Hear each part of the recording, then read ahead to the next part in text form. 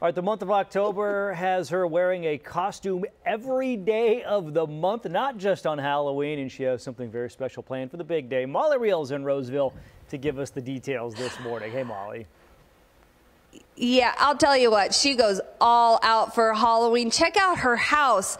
Oh, Han Solo, I love you and he knows, but that pales in comparison, uh, pales in comparison to how much Shannon loves Halloween. So first, just the decor of her home. She picks a different theme every year for her house. Clearly it's Star Wars, uh, even has a Chewbacca couch. But as you said, John, every single day of the month, she wears a different costume. So what will she show up to work in today? Mars attacks. Okay, Shannon.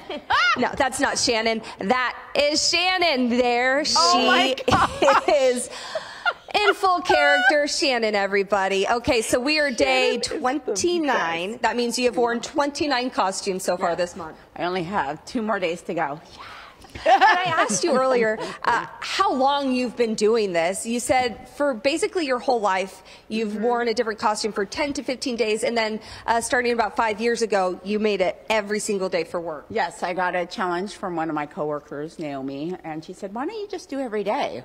Because I do like 15, 20 days, and well. every holiday, mm -hmm. you know, so. Um, I'm like, okay. And so since then, everybody is going, oh, I can't wait for your Halloween. I'm like, oh, great. I know. You deserve a vacation afterwards. So let's come see where she stores all those costumes. And she even walks in character.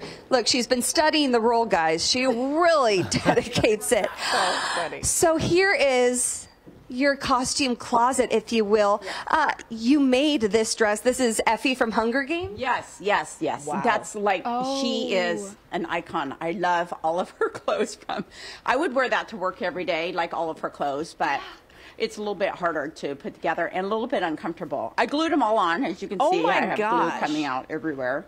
Um, here's my hat. It's beautiful. Uh, but as we look through too, you said sometimes you make it easy on yourself. Uh, for but so creative. Look at this to toilet yeah. paper rolls for a wig. Yes, um, actually yes. And this is I was trash. I was a trashy aristocrat. Um, I don't know. I put a whole bunch of garbage bags, and it actually turned out pretty cool. Uh, oh so she has gosh. a vision board. Take a look at this. So these, this is a vision board of everything she was uh, for Halloween so dancer. far this year. Uh, she has she has Alice from Brady Bunch, but you were every character from yes. the Brady Bunch. And then I did a whole Brady Bunch oh, thing. it was that. the exact same thing. Mugatu um, from Zoolander. And if you guys want to see how accurate she was with Effie, this was the inspiration. Look at that. Oh, nice. Wow. Elfie, Elfie. I said it wrong. Um, okay, you're unbelievable. no, I misspelled it. oh, you misspelled it. Okay, there we go. So here's the thing. She is in good company in her neighborhood. She has a neighbor just a few houses down who does what she does, different costume every day, except different decorations. So she has a skeleton oh theme gosh. every single day. It's a different mm -hmm. theme for the skeletons. Yeah. So we're going to take a little work. field trip and see those decorations it's coming up. Maybe I'll borrow a costume. Oh my gosh, yes, absolutely. Okay. I have a thousand. she has some to spare. Maybe I'll be a trashy aristocrat. um, so we, will see you guys soon. We love Shannon. Um, Julissa Ortiz introduced us to Shannon some years ago, and so now this is like the mm -hmm. thing. Like we want to every year we have to see oh, what she does. One so, of one of our favorite traditions is visiting so, you, Shannon. So we're now one so, of the piling pressure. Exactly. Yeah. exactly.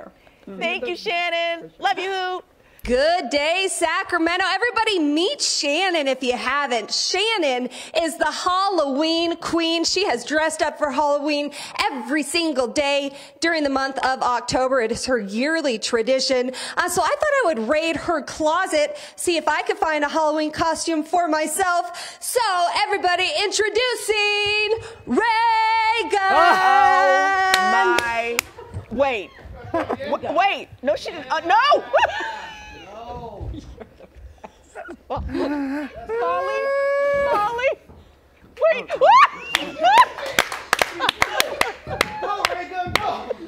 Go, Molly! Why are you better than her? Yeah. Why? that was good. Am I officially an Olympic athlete? That would have scored better than It would have scored better than Raygun. Yeah.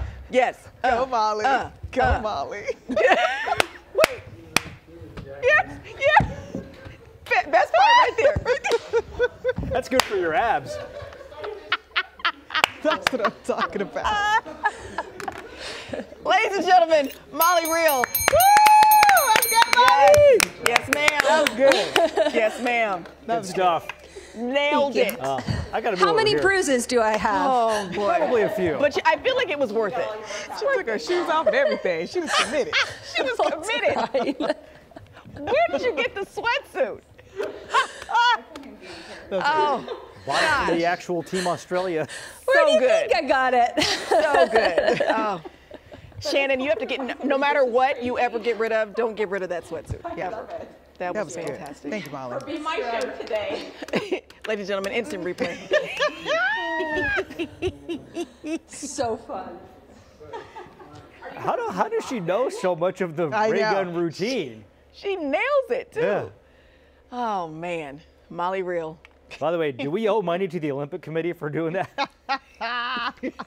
No, because Molly did it better than Raygun. Yes, she did. They owe us money.